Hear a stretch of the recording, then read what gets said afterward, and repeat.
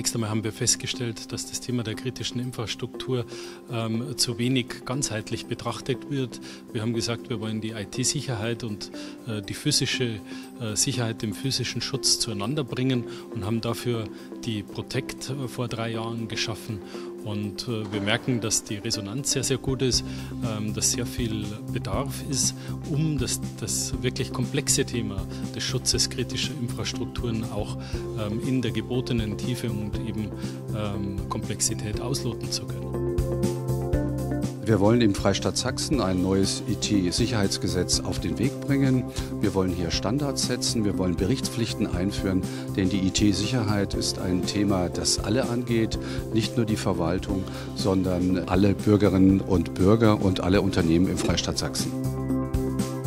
Eine derartige Plattform wie die Protect äh, ist natürlich auch immer äh, eine wunderbare Gelegenheit, äh, sich gegenseitig kennenzulernen, aber auch natürlich vorhandene Kontakte weiterzuknüpfen, zu vertiefen und auch als Ideenaustausch und Meinungsaustauschbörse zu fungieren. Wir haben jetzt gemeinsam mit dem ASW Bundesverband einen Auskunftsservice ins Leben gerufen, wo wir regelmäßig prüfen, welche Domains betroffen sind, sodass mit dieser summarischen Information die Unternehmen die Möglichkeit haben, Mitarbeiter allgemein zu sensibilisieren im Kontext Umgang mit Passworten, Verwendung der Business-E-Mail und der allgemeinen Frage, wie offen bin ich im digitalen Raum.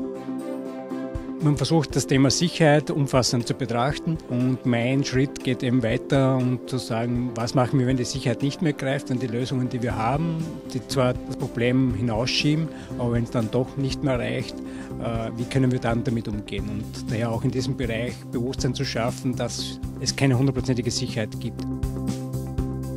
Der Austausch ähm, von Informationen, von Best Practices, wie man das Thema oder verschiedene Themenbereiche vielleicht auch gemeinsam angehen möchte, nicht die gleichen Fehler zu machen, ja, also voneinander zu lernen. Also auch heute sehr, sehr fruchtbare Gespräche gehabt in den Pausen, also zwischen den Fachvorträgen.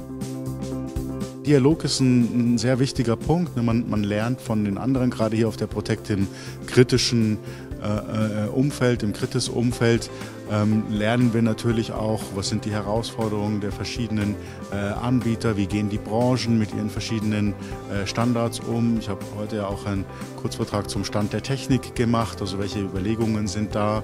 Ähm, war eine sehr interessante Diskussion, aus der ich auch sehr viel mitgenommen habe.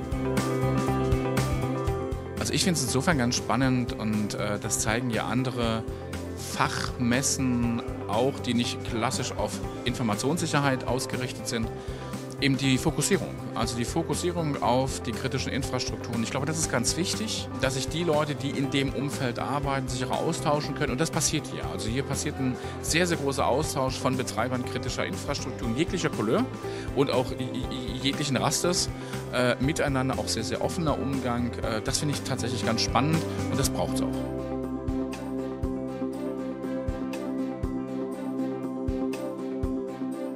Die Kongresshalle Leipzig ist eine wunderschöne Location. Leipzig selbst, ja, man muss es einfach mal gesehen haben. Auch das Abendevent in dem Gondwanaland muss man erlebt haben. Es war wunderschön. Ein Highlight war die sogenannte Pitching Corner. Hier haben die Fachaussteller innerhalb von drei Minuten Zeit, ihre Dienstleistungen vorzustellen, ihre Produkte vorzustellen. Und das ist eine sehr große Herausforderung, innerhalb von drei Minuten die USPs darzustellen.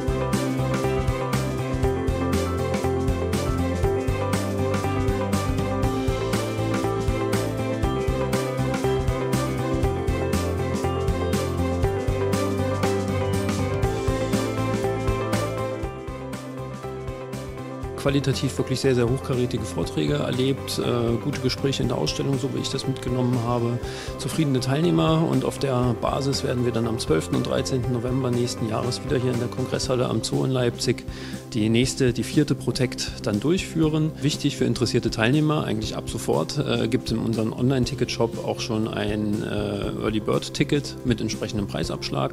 Und dann wird in der weiteren Entwicklung des Veranstaltungsprogrammes das natürlich äh, veröffentlicht werden. Immer auf protect.de hier informiert bleiben, würde ich dort empfehlen. Und äh, unser Ziel ist es für das nächste Mal natürlich noch mehr inhaltliche, tiefe, aktuelle Themen mit aufzugreifen. Und äh, ich freue mich jetzt schon darauf. Ich denke, das wird wieder ein sehr rundes Paket werden.